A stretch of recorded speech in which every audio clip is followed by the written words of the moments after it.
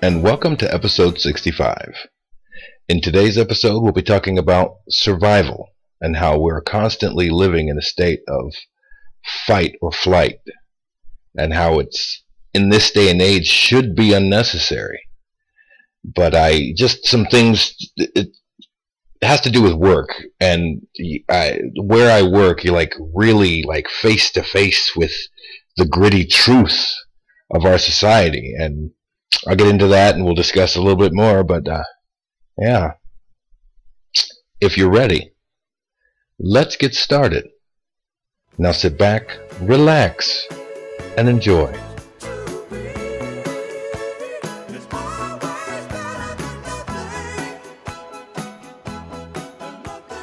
So, survival.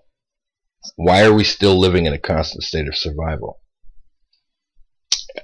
It's it's worse than I believe the society we live in now is worse than let's say if we had no society to speak of if it was just people living in clustered groups across the land I think it would be less dangerous to live like that than it is to live the way we live in that constant state of fight or flight. Uh, and those that don't live in that state, it, everything that happens to them comes as a shock. Like, I can't believe that happened to me. And then you have those that have their defenses up constantly and they're constantly on the lookout for these things. And it just, certain things just shouldn't happen. Certain things just shouldn't be a part of our society and you start to see where it comes from. And I'd like to say well money. It's not money. It's it's people. And I believe it's the fact that we live too closely grouped together. It is economic disparity between the classes. There shouldn't be classes for one. It's almost as though they want there to be crime and homelessness as kind of a you don't want to end up like that. You don't want that to happen. It's like they create the problem so they can create the solution. And not so much the homelessness but the crime. I work in a very very bad neighborhood. And it just seems to me that if things were handled just a, slightly differently, oh, well, okay, it wouldn't be slightly. It'd be pretty much, it'd be a dramatic shift in policy and economic policy in the way money is distributed to the people. And uh, what do you call it? The opportunities afforded to certain classes of people. It's just, it sits, the way it sits now, the lower down the economic spectrum you go, people are more willing to do whatever it takes to get their bills paid. And if that means they're going to go rob and steal, sell drugs, uh, what have you, they're going to do that. Well, that's crime. Well, that justifies having a police force, and so on and so on, and, and it snowballs from there. Pardon me.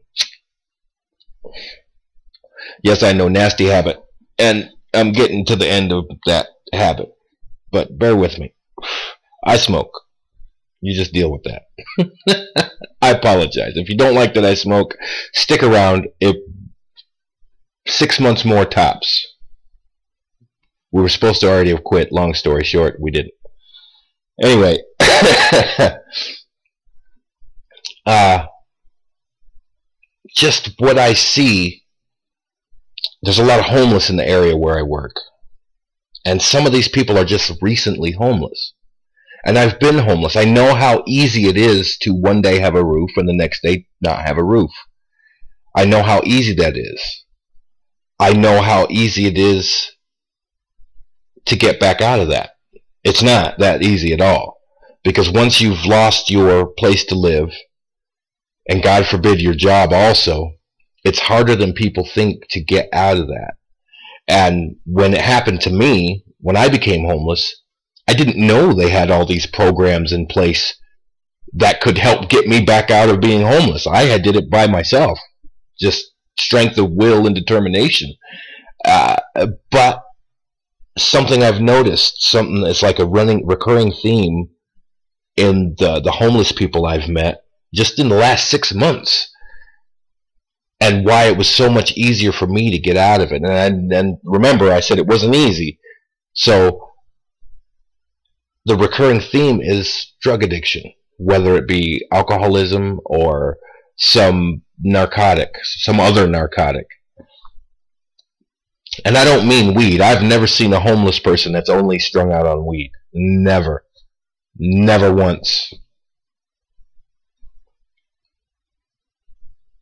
We're talking hard drugs, meth, heroin, cocaine, and yes, you get the hardcore alcoholics.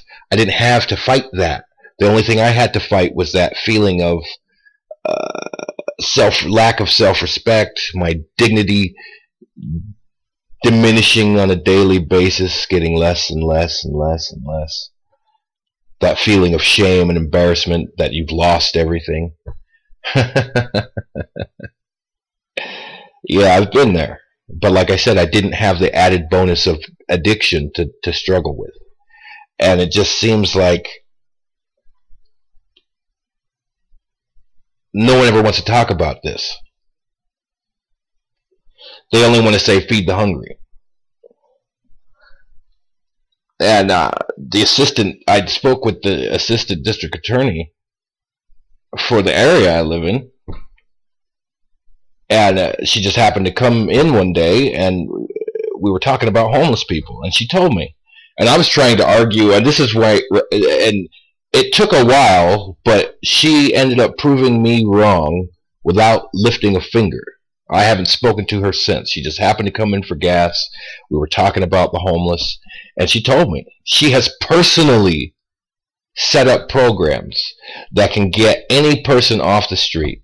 These programs are completely 100% free. They had this big to-do where they invited all the homeless down to come get started and get back into the game, and nobody showed up, she said. Nobody.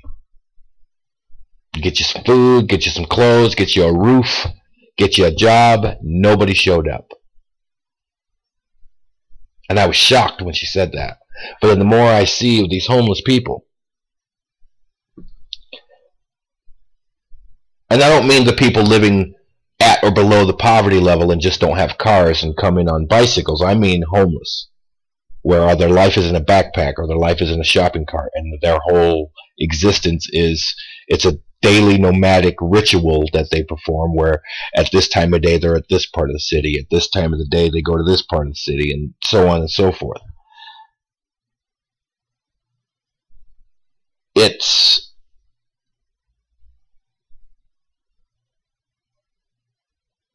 I I don't know how to say it but their predicament causes them shame so they don't feel the shame anymore. They fall deeper into their addiction, which causes them more shame. It's a it's a it's a it's a never-ending circular argument.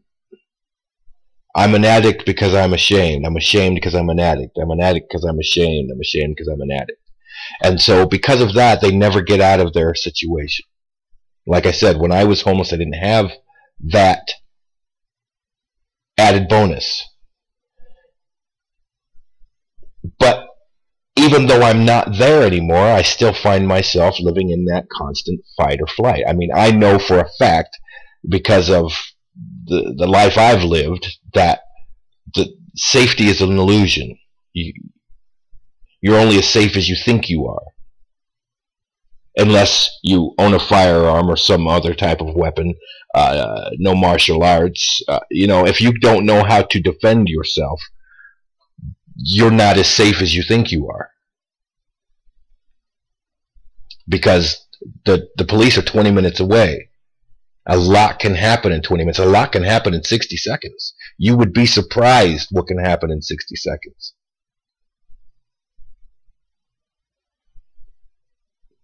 So this constant state of survival, the homeless people don't have that. Not to the degree that we do. They're looking at their next meal. we're looking at rent, bills, car payment, kids got dentist appointment, wife's got to go see the doctor. You know, that's what we're looking at from from uh, at or above the poverty level. But when you're homeless, you don't have none of that. All you're worried about is getting your necks fixed and getting something to eat. And maybe when it gets cold, getting a hotel room. It's funny that I see that fight or flight survival instinct less in homeless people than I do in people that have a life. You shun a homeless person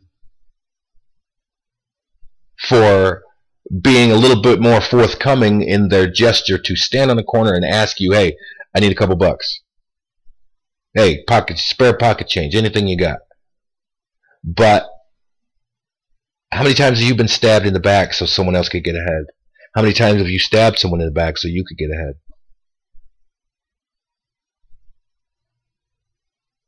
I mean, this isn't high school. At this stage of the game, we destroy people's lives when we do that shit.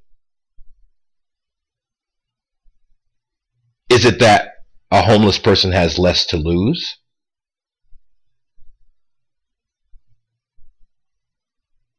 And don't get me wrong, because I've seen both sides of the argument. I've seen my side of the argument, which is they just need help, which and there are those out there that would, would do anything to get back into the game. And that's and not all not all of them are addicts.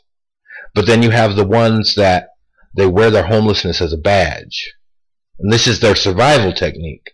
They wear it as a badge, and if you don't cater to their homelessness, you're worthless.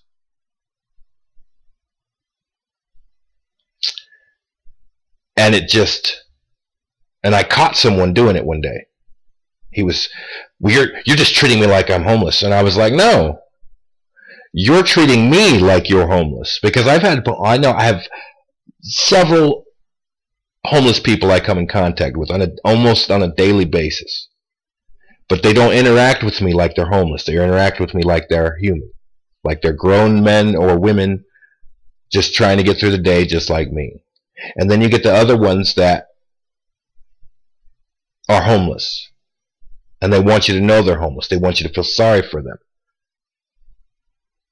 Asked once, don't you have any compassion? Sure, my compassion isn't found in my wallet. I do not pity nor envy you. I don't know how you ended up in this position. You could deserve every minute of this. I don't know. I don't know why you choose not to get out of it. But what I do know is that if you are choosing to disassociate with society, it is not my place to pay for your existence. That's just like I don't want to pay to live in this apartment, but can I crash at your place? No, no, you cannot. and no, they're not all like that. And their survival instinct has nothing to do with the same things that we have our survival instinct about. Our it, it, it, their problems are so vastly re removed from what we see as survival. What we see as, oh, get the Brent pay, uh, uh, you know, have a little bit extra.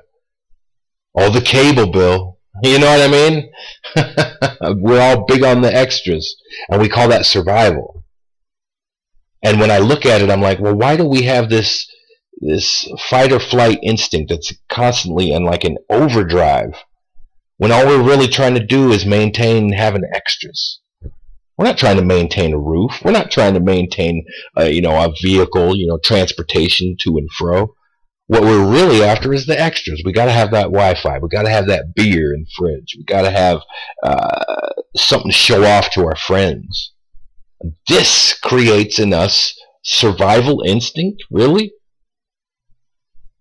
When the people out there that are really just trying to survive don't have that deep-seated survival instinct on that same level, on the level where they would kill.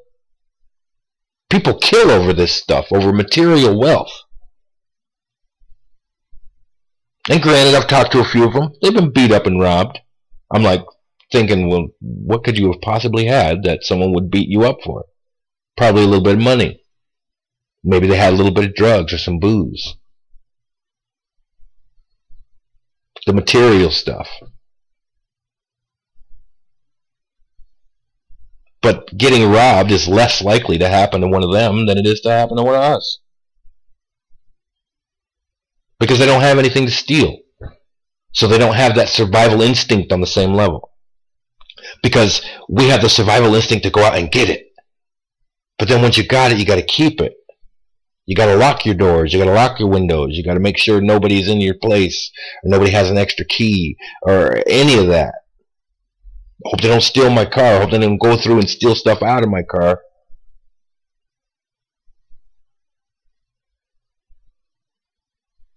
Why is it we are more cutthroat on what's supposed to be a civilized level than people that have nothing and you would think they would go and kill for it. They don't see the the thing is they wouldn't go out and kill for a sandwich. They might need some heroin, they might need some cocaine, some meth, they might do some crime for that, but not for a roof, not for food. Think about that. And we'll do some, some backhanded shit to keep the cable bill on. To, so we don't go without our, our, our, our, our internet, our social media. Can't live without that.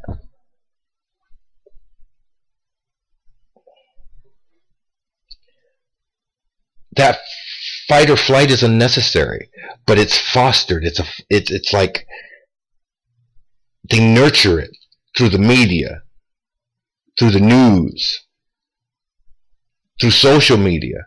It's fostered. Hey, look what I got. Hey, look what I got. Everyone wants something new and better and bigger. Well, you got to get it somehow, right? And somehow, sometimes getting that better job position means I got to stab someone in the back to get it. Or I got to, when I do get that position, I got to spend the rest of the time looking over my shoulder because someone might be coming up to get it. And imagine if you had to stab 10 people in the back to get where you're at and someone now wants your job. What do you think's going to happen to you?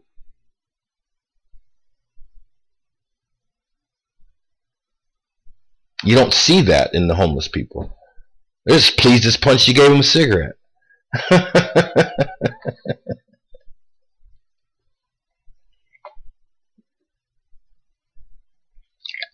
it is without a doubt an unnecessary part of the human condition. And I don't for the life of me understand why it's even part of our society. Why they say, well, people need incentives to work. I get that. I get that.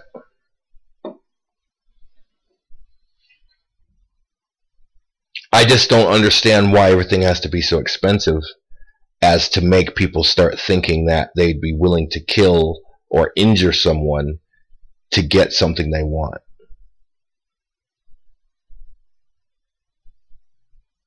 It's like a sense of entitlement that's reinforced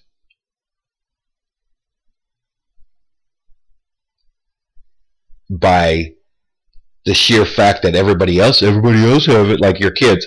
Everybody else has one. And somehow that entitles you to have one by any means. Survival. That's not surviving. What i'm doing is not surviving. This isn't survival. What those homeless people do that's survival. They say it's survival of the fittest. No being underhanded and backstabby, that's not survival. That's being a douchebag. Survival is when I've lived in small towns. I'll tell you what survival is. Survival is when the town will come together because one family slips up and the town comes together to hold their heads, help hold their heads above water. That's survival. And all you're doing is changing the meaning a little bit. It's not gain by any means necessary. It's helping the next man survive. And why is it we won't help a person until they've hit rock bottom and are begging on the corner? When a person needs help, nobody fucking listens until they're homeless. And then it's too late. I don't need your help now.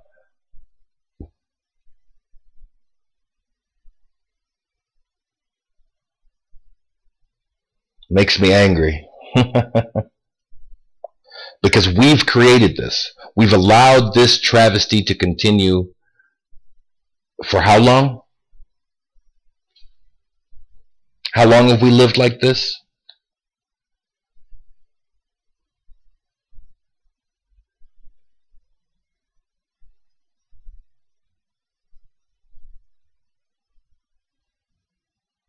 We shouldn't be living like this. This is a fact. Fact.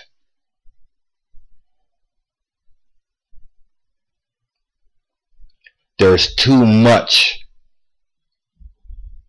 too many resources, too many things out there available for everybody. That everything should cost, the cost should be set so that people are more cutthroat and people do have a fight or flight mechanisms. It's in constant overdrive, constant overdrive. Gotta watch your back. Someone might want your job. Gotta watch your back. Someone might want your stuff.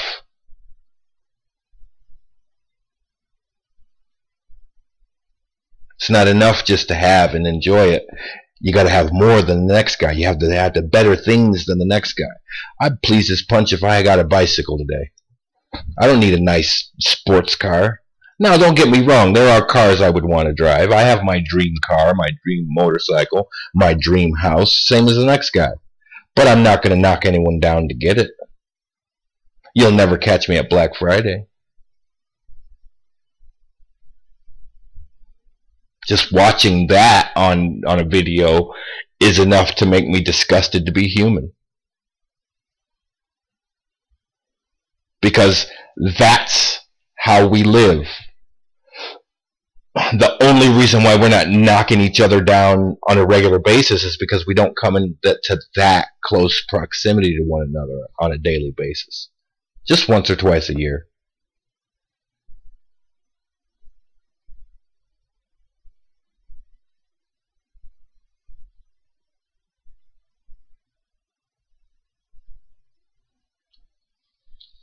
But when it happens, good God, look out. I mean, I've seen some of those Black Friday videos where they'll knock down women, children, people get trampled. And this is the mentality we live with. That I gotta get mine, gotta get mine. Fight or flight.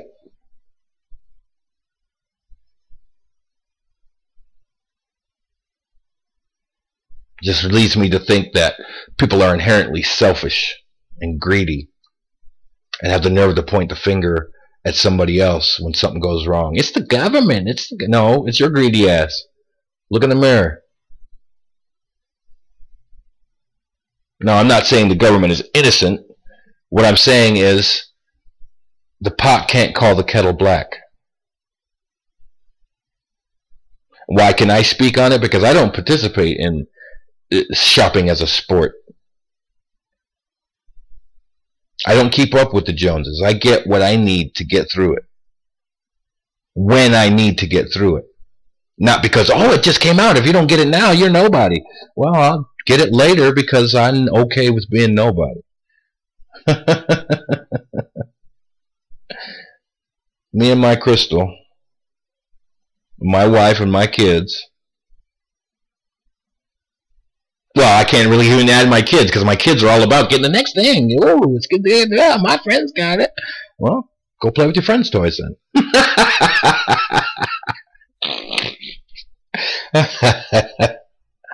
oh. I wonder if I was ever like that when I was a kid. I think I was to an extent. But I don't think it ever got to me so bad that that I would beat someone up for their stuff or threaten their life or trample them over.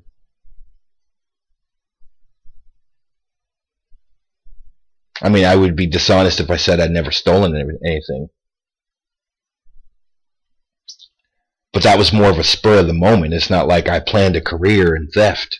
It was more of a, hey, I saw something I wanted and I took it. I stole a bike once. Wasn't even a fancy bike. Wasn't something you'd show off to your friends. Oh look what i got. It was it was a conveyance. It got me from point a to point b.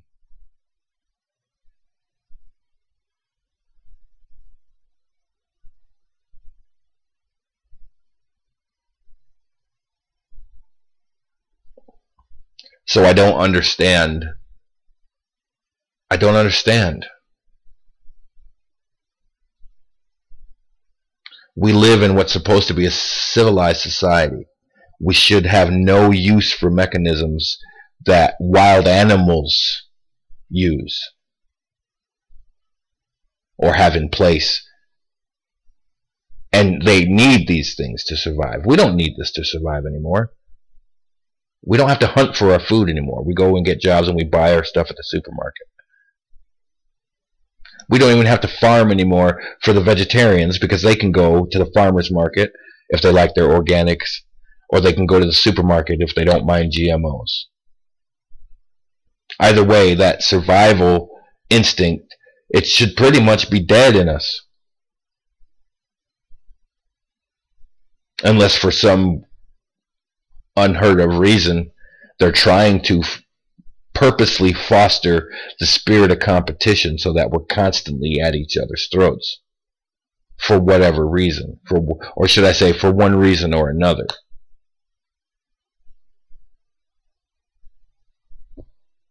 I mean they uh, it's all the way down through right down to the entertainment. To your to your to the taste great less filling Ford Chevy Steelers Cowboys. It's in every aspect of our life. Motorola Verizon. I think more I guess Motorola makes the phones. They don't actually have service but you get the point.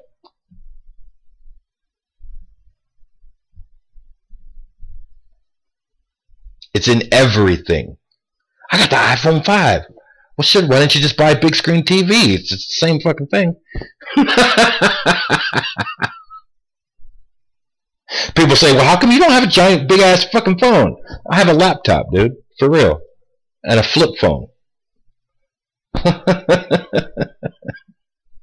I wanted to carry around a laptop, I'd just carry around my damn laptop.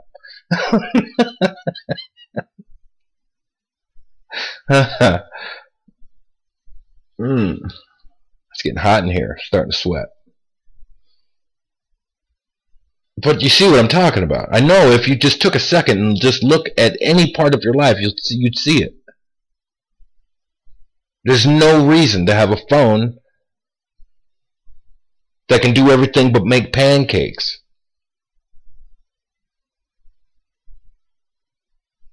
I just I don't I guess I don't get it. Well, if I didn't have a laptop or any other kind of computing device, yes, I would probably have a great big ass smartphone.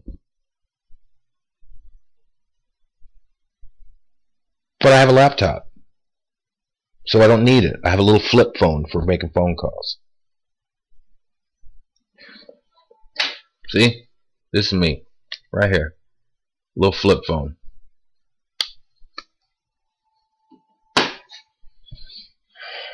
Oh, but uh, uh, if look, my phone does what it's supposed to do. It sends and receives phone calls and text messages. You can't play games on it. Why do I need to play games on it? My life isn't so unfulfilled that my phone has to do 64,000 different things. But I mean, oh, so you, well, my phone it'll rub your nuts and make pancakes. Well, good for you. You sit down and enjoy your pancakes. I just want a phone. and it's with everything. People will get beat up, shot, killed over some, some electronics like that. Not like mine. No one's going to beat me up for mine. They'd probably feel bad and give me their phone. But I don't care about that stuff. I don't care about the next big thing. When I see the next big thing, if I want it, it's because I need it for some reason or another. There's certain things I like to do, so I need a more powerful computer than the laptop I have. I'm a gamer. So I need a better computer. Not because it's the next best thing, but because the stringent requirements of the games I want to play require that I have a more powerful computer. That's it. Not trying to keep up with the Joneses. I don't give a shit what the Joneses have. I don't care. My sense of survival has nothing to do with the acquisition of wealth and material, material possession. What it does have to do with is defending myself and the people I love from the people that would steal whatever limited wealth I have accumulated.